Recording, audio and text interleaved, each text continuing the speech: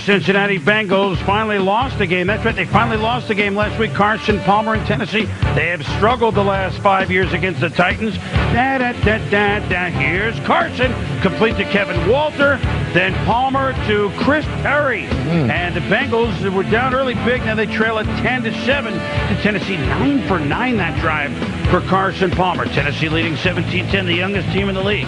Steve McNair picked off by Odell Thurman, the rookie linebacker. You like him, Tom? Yeah, the middle linebacker. I think this guy's going to be a great player. Got that instinctive thing that you look for from your man in the middle. So from behind again, now it's 17 all. Under five minutes to go in the game.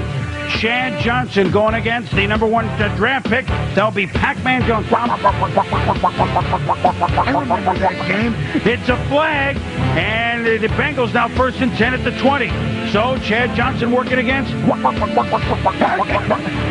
Time. The comedy man shows up here finally. Chad Johnson beats Pac-Man.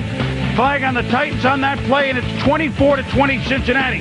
McNair to Chris Brown. The ball comes out. Tory James, the Pro Bowler, returns it to the one, and Cincinnati. Five and one start. They haven't been in first place this late since 1990.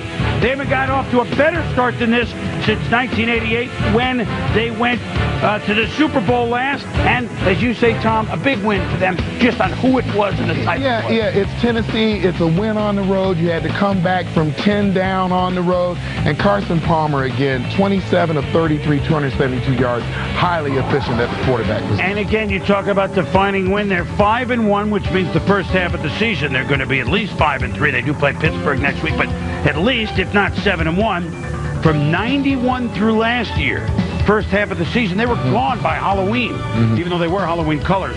25 and 87. That's what Marvin Lewis's Bengals have done thus far.